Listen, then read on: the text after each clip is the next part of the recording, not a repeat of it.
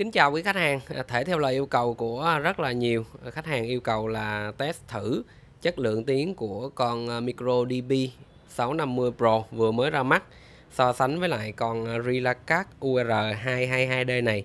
Xem hai cái em này nó gọi là nó khác nhau như thế nào và cái chất âm nó chênh lệch ra làm sao. Thì hôm nay em sẽ làm video giới thiệu thì em đã giới thiệu rất là quen rồi đúng không mọi người? Thì hôm nay em sẽ so sánh hai cái em này cùng trên một hệ thống và em chỉnh làm sao cho nó hay nhất để mọi người à, cùng xem và đánh giá ha. Đây là cái tay mic của à, DB650 Pro. Cái tay màu như vậy ha mọi người. Không biết cái này gọi là cái màu gì luôn ha. Rồi, còn đây là cái tay à, rất là quen thuộc của Relacat UR222D thì với cái đầu Relacat này nè, mình có thể tháo rời chỗ này. Mình có thể thay bằng các cái đầu micro của Shure. Ví dụ như là SM58 hoặc là Beta 58 thậm chí beta 87 đưa vào đây thì cũng hát rất là đã ha mọi người. Còn cái việc hay hay dở đó là một cái chuyện khác, nó nằm ở cái phạm trù khác ha. Dĩ nhiên là nó hay hơn rồi, bởi vì bên em đã có rất là nhiều video test rồi, đúng không?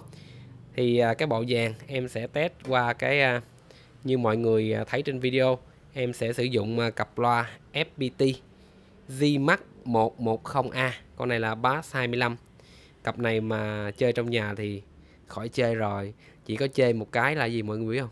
Không có tiền mua ha. Thì à, hệ thống em sẽ lượt qua. Để sẵn chút xíu nó đứng từ xa khỏi giới thiệu lại ha. Mixer Midas MR12 con mixer này thì à, huyền thoại rồi. Khỏi khen khỏi chê ha mọi người ha. À, giải mã DAC5S tại sao em dùng giải mã này? Lý do là nhạc em lấy từ cái tivi đưa xuống qua cổng quang. Không có đưa vào mixer được. Do đó bắt buộc em phải đưa qua cái con à, DAC5S này. Để nó giải mã lên thôi không có nâng tiếng gì hết nha mọi người. Mọi người nhìn nè tất cả em để thẳng tưng hết rồi chưa?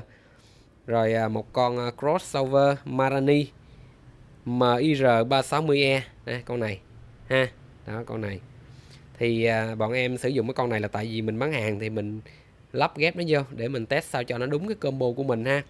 Mình sẽ à, đánh qua cái con sub của FPT cho nó cùng đồng bộ nha mọi người. FPT Ờ, supply 115SA đây là sub 50 ờ, ha.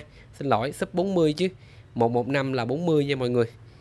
Rồi, bây giờ thì em sẽ cố định chân máy rồi em sẽ test tiếng cho mọi người cùng nghe ha. 6712 cấu hình thì mình đã giới thiệu rồi đúng không mọi người? Bây giờ mình sẽ vô test tiếng cho nó nhanh luôn ha.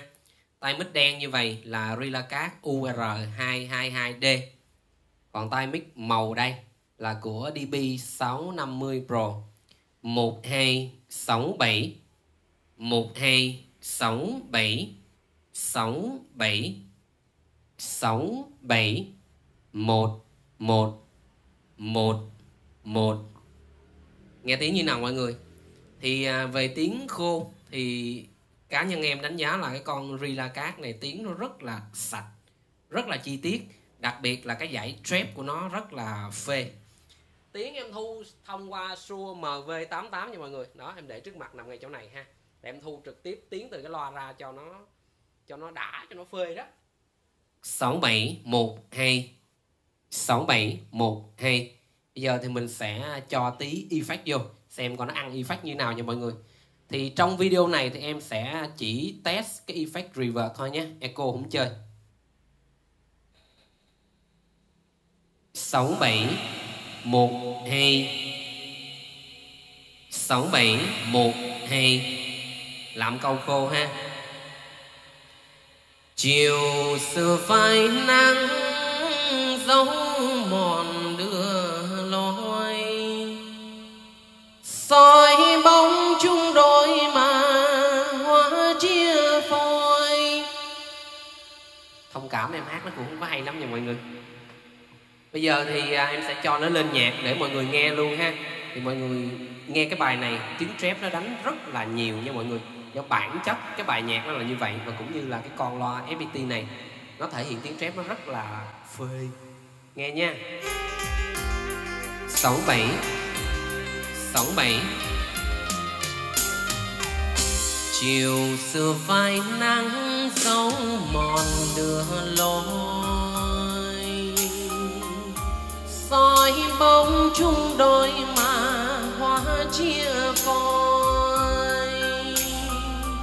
Sương lạnh chiều đông vương tiếng thở của người nguyện đời chờ nghẹn ngào giờ tiễn đường. Chợt thấy lòng như rớt giữa hư đưa tiễn nhau đi ngại những đêm mưa. Đêm chập chờn buông lên giấc mộng, anh vẫn thường gặp em như lúc xưa nơi sân trường. Anh lên đường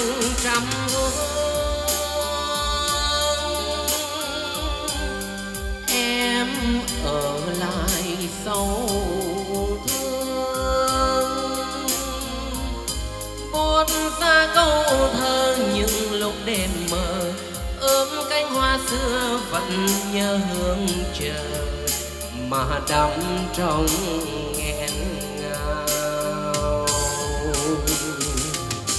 Mười năm mơ kết. Thấy sao mọi người? Thấy à, thích con nào hơn? Thì như từ đầu à, cá nhân em vẫn à, thích cái con Rilacat UR222D này hơn. Con này thì à, mình hát mình có thể lướt có nghĩa là mình lướt theo cái tiết tấu của bài nhạc. Còn cái con này thì tiếng nó hơi hơi đầy, hơi trầm ha. Những người mà thích cái tông cái tông, cái màu sắc tiếng micro đầy, trầm, thì mình sẽ chọn cái con DB650 Pro này. Còn những khách hàng mà thích cái tiếng nó rõ, chi tiết, nó gọi là cái tiếng trép nó mượt, nó xịt nhiều và nó bay, nó lướt, thì mình sẽ chọn Rilacat UR222D rồi, cảm ơn mọi người đã xem qua video clip này. Thấy thích thì cho một cái like ha.